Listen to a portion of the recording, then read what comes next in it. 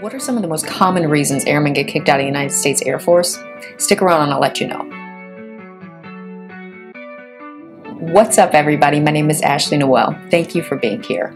On this channel, we talk about military lifestyles, tips for traveling and working abroad, and also leadership advice. So, if any of those topics interest you, please make sure to hit that like button down below and also that subscribe button. As always, quick disclaimer, I do not speak for the Department of Defense, I do not speak for the Air Force, I only speak for myself, and nothing that I say here should be construed as legal advice. So if you're having legal troubles and you're in the military, then you should reach out to your installation's Area Defense Counsel for help.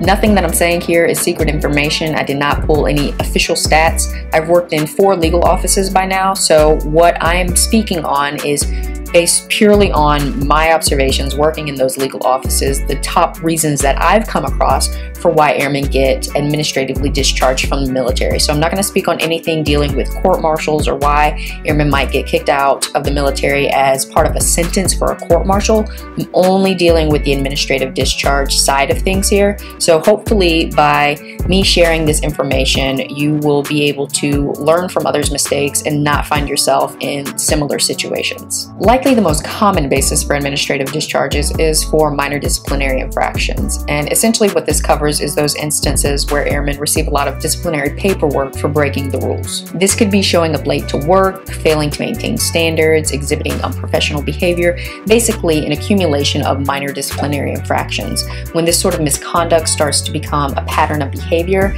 that's when airmen become subject to administrative discharge. And this makes sense. As a military body, we have a lot of rules and processes for reasons. We have to be able to standardize a lot of moving pieces across a lot of different systems, and we have to be able to rely on those systems to work. So you can think of each individual as a cog in that system. If any individual cog malfunctions, it can affect the entire system. So if you have one cog that is constantly malfunctioning, not only does that impact the reliability of the entire system, but it also pulls the leader's attention away from focusing on the mission to now focusing on fixing this constantly malfunctioning cog. So if an airman exhibits a pattern of behavior where it doesn't appear that they can comply with military standards or customs, then this may not be the best employment option for them.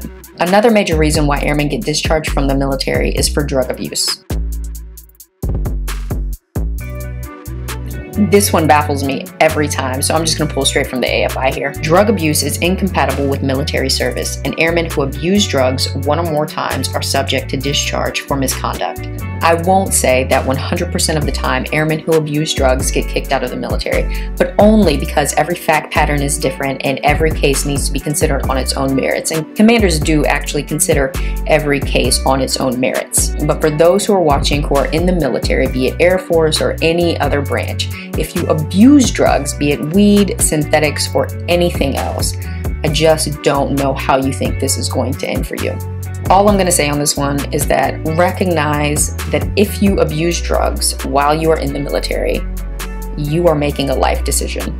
Last up, another common basis for administrative discharge from the Air Force is for fitness test failure. Obviously, we've had a bit of a hiatus from fitness test requirements due to the pandemic, but as fitness testing starts to come back online, this tends to be one of the more common reasons why airmen end up getting kicked out via administrative discharge. So this one's pretty straightforward. Essentially, if an airman fails a fitness test four times within a 24 month period and a military medical provider rules out there being any possibility that the airman had some sort of underlying medical condition that would have prevented them from obtaining a passing score, then that airman is going to be subject to administrative discharge discharge. Again, this goes back to maintaining standards and ensuring that every cog in the system, you could say, is able to function and support the overall objective of the whole. If you're interested in getting more information about any of these bases of discharge, please feel free to check out AFI 363208 if you're enlisted or AFI 363206 if you're an officer.